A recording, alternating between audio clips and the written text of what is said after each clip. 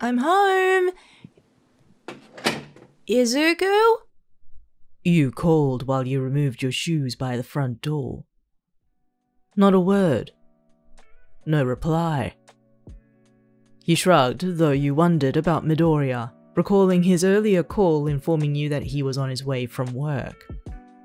Maybe he got caught up with something. You murmured, removing your jacket and throwing it on the couch. You sighed inwardly with a smile, removing pieces of your clothes on the way in towards the bedroom. It had been a long day, in and out of the office. After a reconnaissance mission in inner Musutafu, you needed to rid yourself of the gunpowder you felt all over. By the time you reached the bedroom, you were already down to your undergarments. You hummed while you stretched your limbs, gathering a few clean clothes before you made your way to the bathroom. A nice shower was what you needed. And then binging something on stream made for a relaxing afternoon, at least until you heard from Midoriya. This did not occur often, but dating the number one came with compromise. Even more so now that you were engaged. You were more thankful that it hadn't made the news, unlike Bakugo and Todoroki's engagement. Your thoughts, however, were rear-ended once you opened the bathroom door. Eyes met by the warm, moist condensation in a very naked hero with nothing but a towel wrapped around his hips. His scars were bare to see, his skin freshly drenched from what you assumed was a hot shower before he turned his emerald eyes onto you frozen by the sight. You stood, speechless. You had seen him many times, but it had always amazed you about the sheer size of his body, the scars that painted his story. And despite all of this, his face, relaxed and drenched, still with this boyish charm. Izuku? You softly spoke, catching his eye slightly drowsy from the warmth of the bathroom. Oh, those sleepy bedroom eyes. Hey, cutie. He spoke, almost sultry for a brief moment. That was the shower talking. Are you done? You asked while you cleared your throat, your clothes hugged tightly against your chest. You watched Midoriya walk towards you, hand on his towel before he leaned against the doorframe, only allowing a small opening for you to slide past, should you decide to do so. You couldn't tell if your cheeks were burning from the fluster or if the air was getting to you, before he closed his face onto yours, kissing your cheek. I could be. Or I could have another one with you. He teased, watching your eyes widen a little. Have you been speaking with Kaminari lately? You asked after a moment of silence. Then that happy smile crossed his face, his cheerful old self. Very funny. He replied, allowing you access into the bathroom. Shower's all yours. I'll start dinner. Midoriya walked past, his hulking figure making its way to the bedroom. You couldn't help but stare. It never got old, ever since you first laid eyes on his body. I would have agreed to your invitation, you know. You spoke with a smirk before waltzing into the bathroom. You didn't witness it, but you heard Midoriya's hitch in his voice before you shut the door.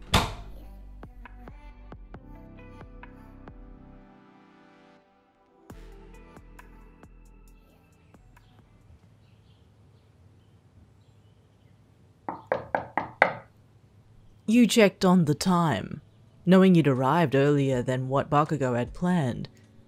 Yet having to wait 10 minutes outside of his apartment was becoming a concern. Bakugo was a man of timing, not so much as his former classmate Iida, but never was he this late in responding to anything. With the exception of his reunion, you recalled, but neither of you were in a rush for anything today. Katsuki? You called from the front door. hearing nothing, which was odd. You fished out for your keys, picking through them until you found your key to his apartment. Ever since his proposal, the both of you had agreed to have a copy of each other's apartment key. It made sense to do so now, both personally and professionally. Too many times had there been a few missions either of you crashed at each other's places. Your recollection of your recent ones brought a wry smile to your face.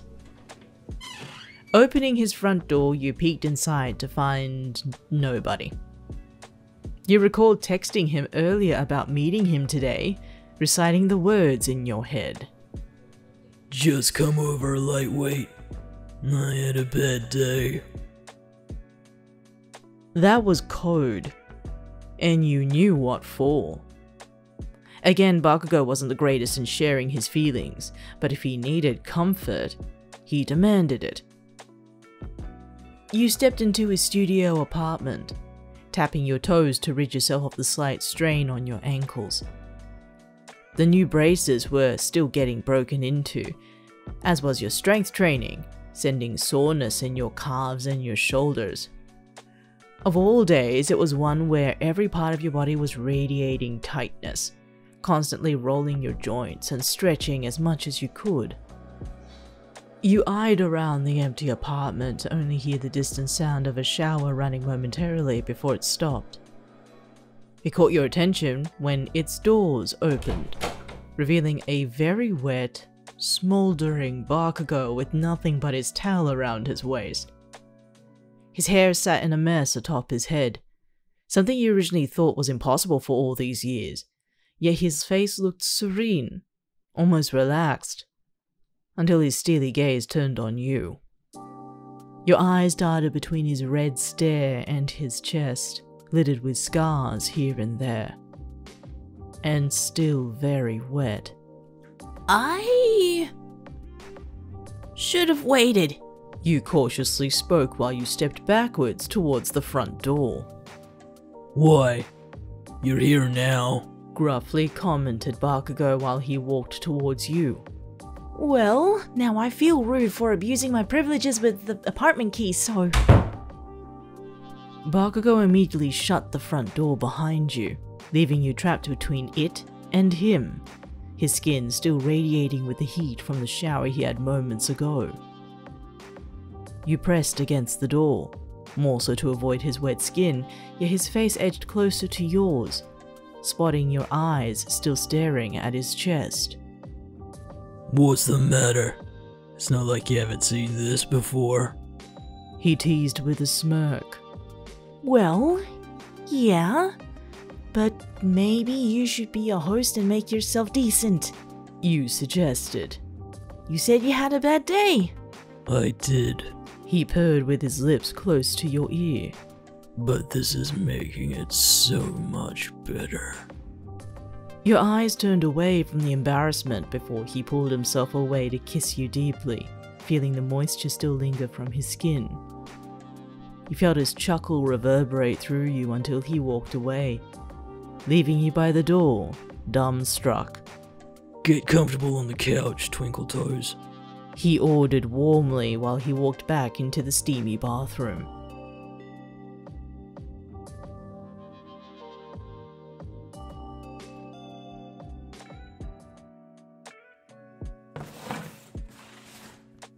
The boxes began to climb the more you brought them in from the truck, wiping the sweat from your brow with a sigh.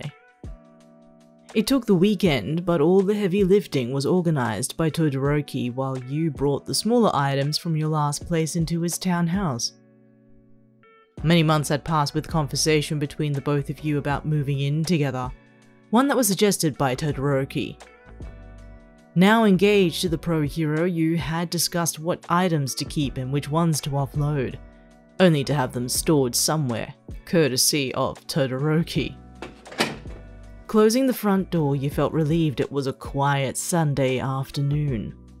Yesterday was a circus from the media and paparazzi, chuckling at Todoroki's reaction when they tried every attempt to take sneaky photos of you moving in with him. Hell freezing over. Literally. Now all you wanted was to wash off the dust, sweat, and grime. You could feel your hair crawling away while you looked around the townhouse, half filled with boxes of your things. A shower felt like a great idea. You remembered the floor plan, where everything was, and Todoroki had been very open about using anything whenever you needed or wanted. Without another thought, you made your way to the bathroom, stripping your clothes while you did. Todoroki was still at work and wouldn't be arriving at the doors until the next hour. Just enough time for you to wash up. Now down to your undergarments, you reached for the handle of the bathroom door, turning and pushing it open to be hit by the heat immediately. As if the sweat on your skin was already a nuisance. The moisture in the air only made it feel even more uncomfortable. Then again, why was the bathroom so humid? Through the heat, you peered to spot a tall figure by the vanity mirror, his long hair clinging onto his back while he fixed his towel across his hips. Todoroki stared at you, aloof despite his topless form. His fingers ran through his long locks, still wet from the assumed shower he had recently enjoyed. When did you get home? You asked immediately, trying to avoid the squeak in your voice. Not long ago. He voiced calmly. But I didn't see you. Maybe we missed each other. I'm leaving now. You announced while you started to swing the door shut. Why? Questioned Todoroki, catching you from shutting the door. You eyed him, still wet from the shower, with a small smile on his face, his eyes drowsy from the steam. We just got here. He mused, still with smiling bedroom eyes. I can help you put your things together. When you get yourself dried and dressed and not so. You bit your lip, trying to push those thoughts from your head. I need a shower before we start unpacking things. Suddenly, the door swung open, taking you with it until you stood before Todoroki's bare chest, still holding onto the towel that tied tightly around his hips. It wasn't new to you, but barging in without checking first was already a novice mistake. And in your undergarments. All you found was that smile on his face, leaning in to kiss you atop the head. Okay, love. He agreed while he walked past you through the door. Take your time. You couldn't help that fluster from his body heat and the shower he recently had. At the very least, you weren't worried about washing away the filth from the move, closing the door behind you.